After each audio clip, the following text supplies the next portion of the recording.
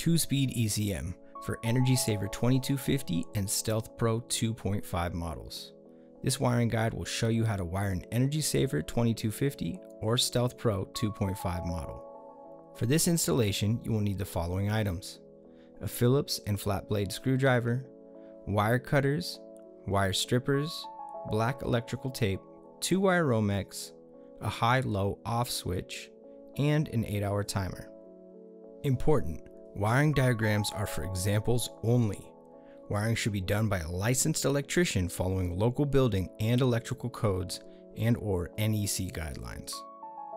If you are installing this fan unit in new construction, please note that if use of arc fault breakers are 100% implemented in the home, or if the fan is being installed in a wet area such as a bathroom, you may be required to wire a dedicated circuit for the fan.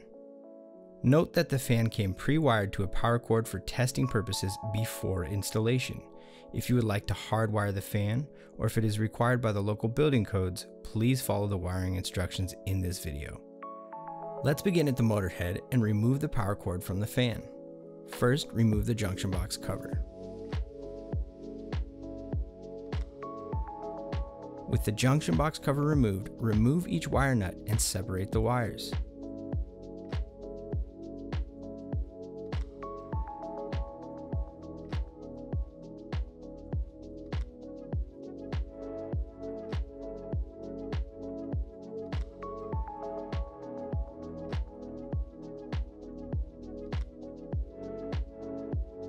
Remove the ground wire of the power cord by unscrewing the ground screw.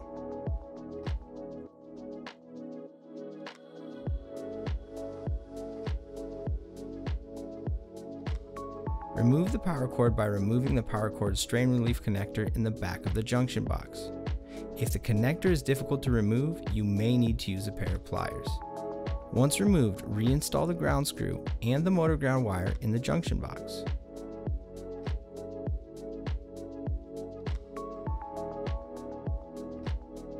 Using wire cutters, cut the ground wire in half. This will allow you to ground the motor and wall switches to the junction box in the fan. Now strip both sides of the ground wire.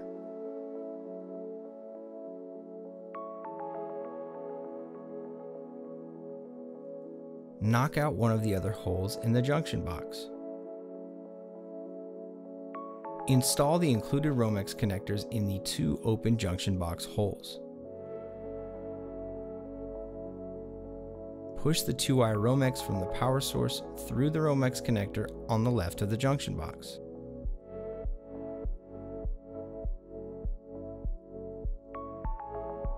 Push the 2-wire Romex from the timer and the 2-wire Romex from the switch through the Romex connector on the back of the junction box.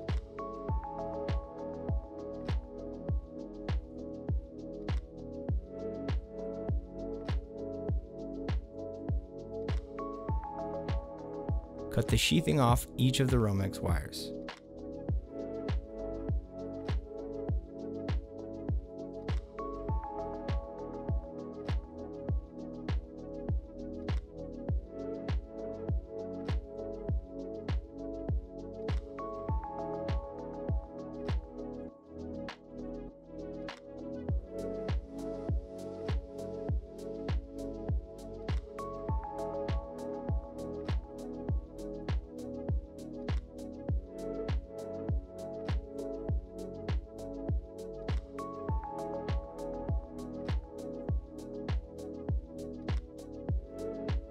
Cut the bare copper wires to the appropriate length.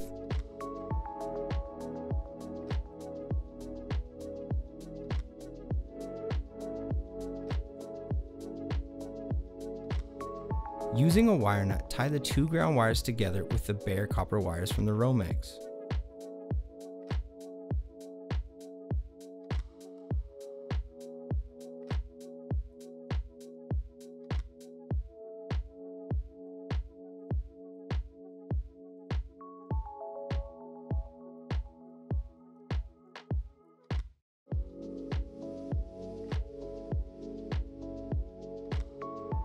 Grab the white wire from the power source Romex and the white wire from the timer Romex and cut them to the appropriate length and strip them.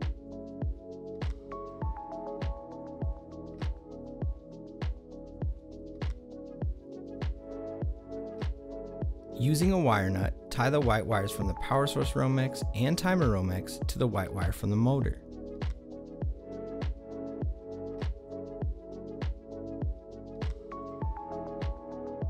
Grab the black wire from the power source Romex and the black wire from the timer Romex and cut them to the appropriate length and strip them.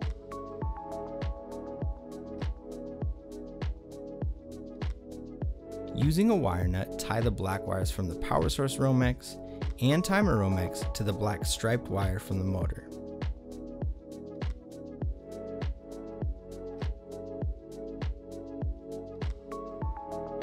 Using black electrical tape, tape the white wire from the switch Romex.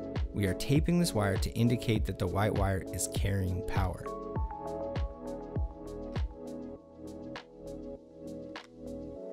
Grab the black wire from the switch Romex and cut it to the appropriate length and strip the wire.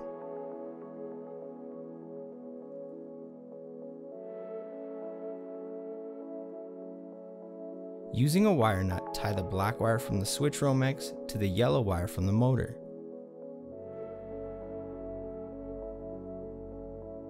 Grab the taped white wire from the switch Romex and cut it to the appropriate length and strip the wire.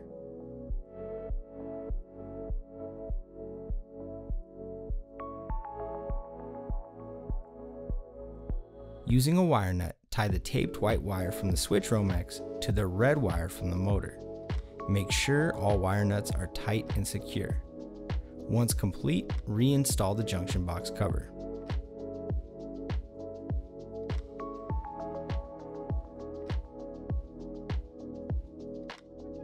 Now let's move to the wall switch.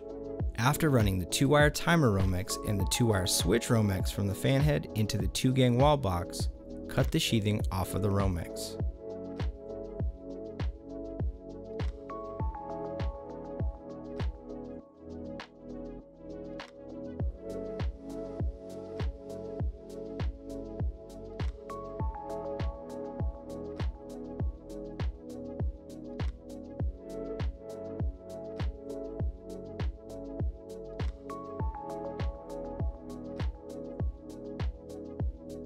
Cut the bare copper ground wires to the appropriate length.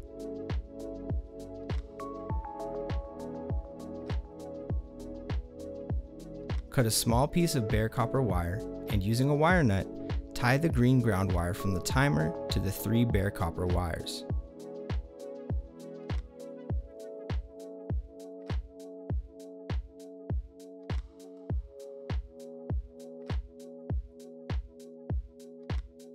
Using black electrical tape, tape the white wire from the switch to wire Romex. This taped white wire will be used for low speed.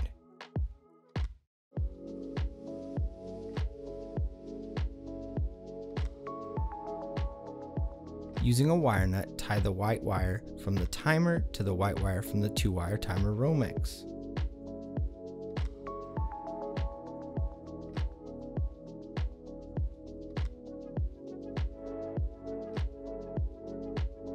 Using a wire nut, tie the black wire from the timer to the black wire from the 2-wire timer Romex.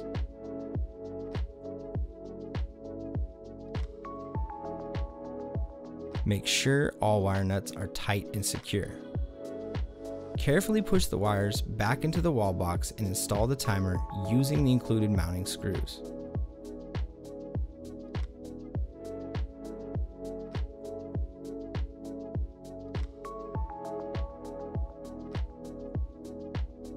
Using the pliers, create a loop on the remaining bare copper ground wire.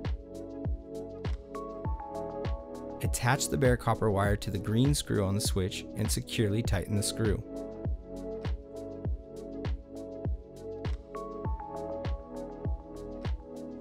Strip the red wire from the timer and connect it to the top left gold screw on the switch.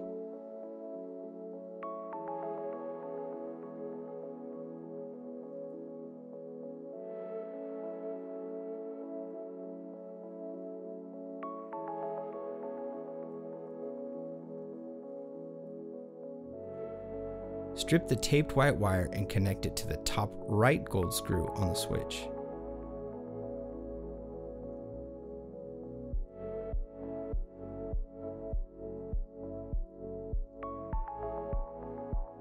Cut the remaining black wire to the appropriate length, strip the wire, and connect it to the bottom right gold screw on the switch.